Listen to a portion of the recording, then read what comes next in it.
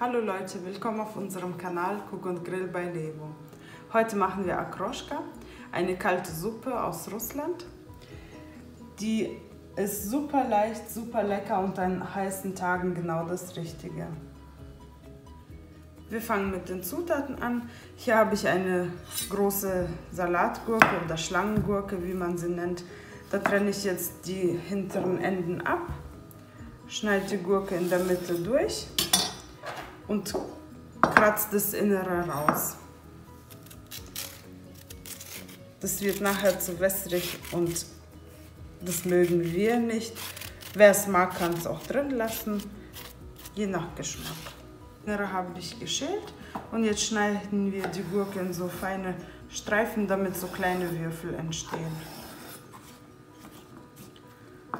So, und dann ganz fein. Die Gurken habe ich jetzt zur Demonstration geschnitten. Ich habe hier aber so ein Wundergerät mit so kleinen Gittern drin, der macht dann alles schön in kleine Würfel. Jetzt schneide ich die Gurke einfach in so kleine Teile und dann kann man das auch schon hier durch, durchsieben.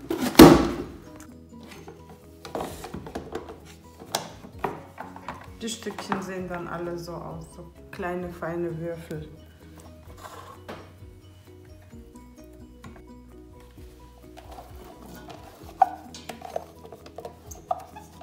Es ist eigentlich egal, was man zuerst schneidet. Ich nehme immer das, was gerade zur Hand liegt. Die Zwiebeln schneiden wir jetzt auch in kleine Ringe.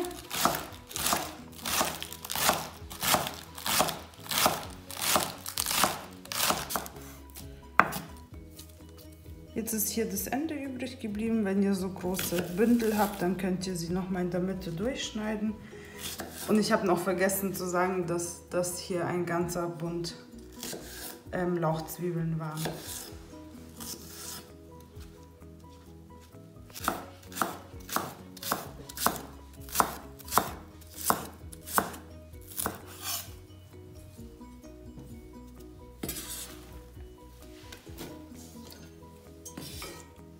Hier habe ich noch Schinkenwurst, die ist geräuchert.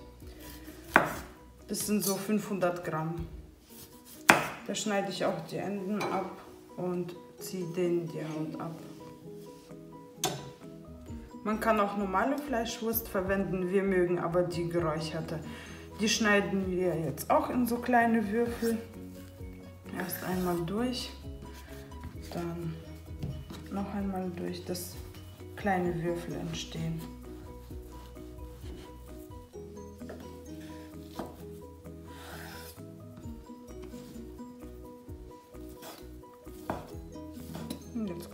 So kleine Würfel raus.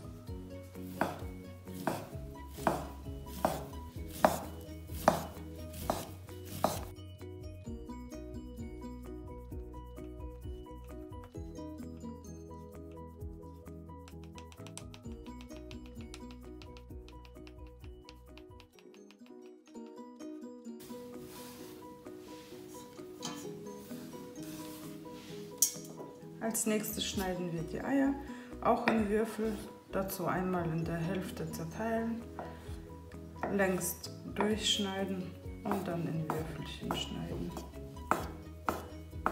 Hakt. So, dann haben wir auch so kleine Würfel. Was ihr an große seht, könnt ihr ja nochmal durchschneiden. Aber so sollten die ungefähr sein. Wenn es jemand kleiner mag, kann es auch kleiner machen.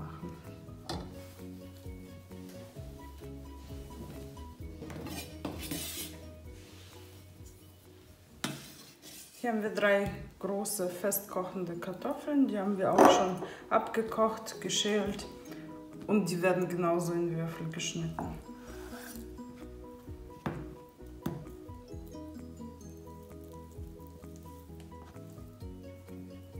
Da wollte einer schon vorher.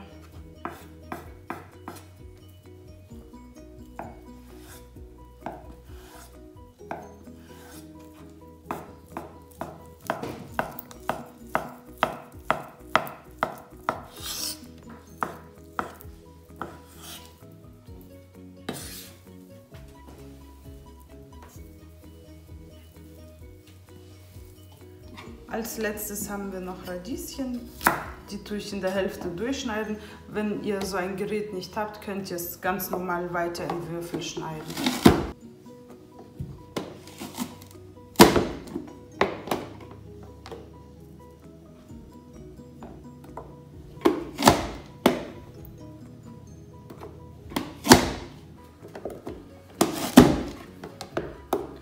Werden wir heute essen, weil es heute bei uns 28 Grad sein wird. Und deswegen haben wir uns entschieden, Kroschka zu machen. Wir haben alle Zutaten jetzt geschnitten. Ich nehme immer Kefir. Ihr könnt natürlich auch Buttermilch oder Joghurt nehmen, aber mit Kefir schmeckt es uns am besten. Da habe ich zwei Dosen, das sind jeweils 500 Gramm. Dann nehmen wir einen Esslöffel Salz dazu. Ich schmecke es nachher noch ab. Vielleicht muss man noch ein bisschen mehr reintun. Dann kommt der Pfeffer rein. Ein guter Schuss.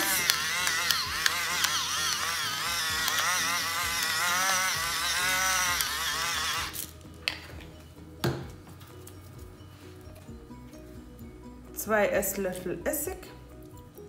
Das schmecke ich dann aber auch noch ab, weil wir mögen es sauer. Wer es nicht so sauer mag, der kann es auch mit nur ein bisschen. war 25-prozentig. Jetzt gebe ich eine ganze Flasche stilles Wasser dazu. Wem es nicht reicht, der kann halt noch ein bisschen mehr. Die Flasche ist schön kalt.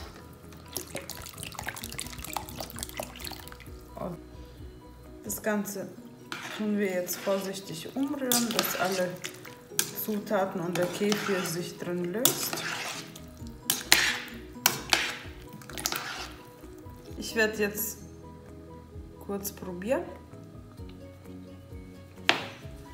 Also auf jeden Fall noch zweimal Essig und etwa noch einen Teelöffel Salz rein. Äh, einen Esslöffel meinte ich. Hier habe ich noch gefrorenen Dill. Ihr könnt aber auch frischen nehmen. Ich habe heute leider keinen gefunden und gefrorenen habe ich immer zu Hause. So einen guten Schuss Dill reinmachen und wieder umrühren. Und jetzt ist die Akroschka fertig. Ihr könnt sie kalt stellen und ja, in so einer Stunde könnt ihr es dann gleich essen. Wenn ihr alle Zutaten eh kalt gehabt habt, könnt ihr es auch gleich essen.